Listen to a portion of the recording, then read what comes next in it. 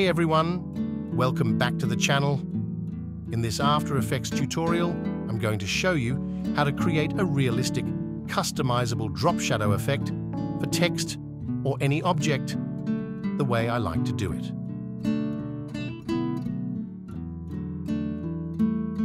Step 1. Create and animate your text. First, let's create a short text layer. This is the text we'll be adding the shadow to. Now to make things more interesting, let's animate it. Set a few keyframes for the position property to make your text move up and down or follow any path you like. This will add some dynamic movement to our shadow later on. Key tip. This technique works for any moving object in After Effects, not just text, so feel free to experiment with different shapes and animations. Pre-compose this text to make the editing process easier later. Step 2. Duplicate and position. Duplicate the text layer. This duplicate will become our shadow. Move the duplicate layer below the original text layer. Step 3. CC slant for the shadow. Now, apply the CC slant effect to the duplicate layer this effect will give us the basic shape of our drop shadow. Pay attention to the floor setting in CC Slant. This should align with the base of your text to make the shadow look grounded. Set the color of the shadow to black. Reduce the opacity of the shadow.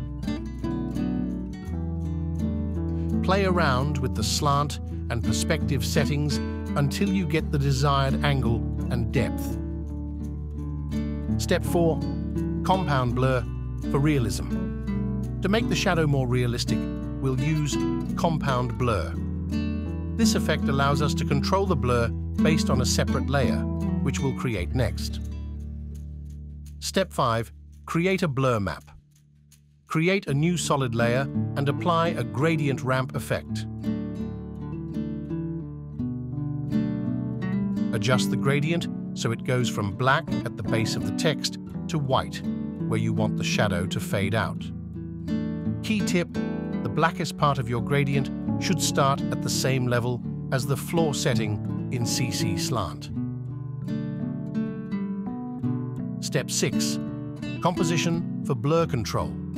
Pre-compose the gradient layer. Name this new composition something like Blur Map.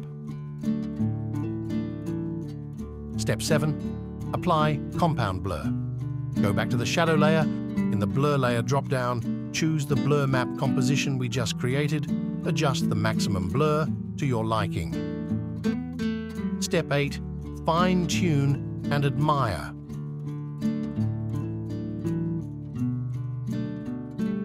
Take a moment to adjust the shadow's opacity, color, or any other settings to get the perfect look. If you found this tutorial helpful, please give it a thumbs up and don't forget to subscribe for more After Effects tips and tricks. And if you have any questions or requests for future tutorials, drop them in the comments below. Thanks for watching, and I'll see you in the next one.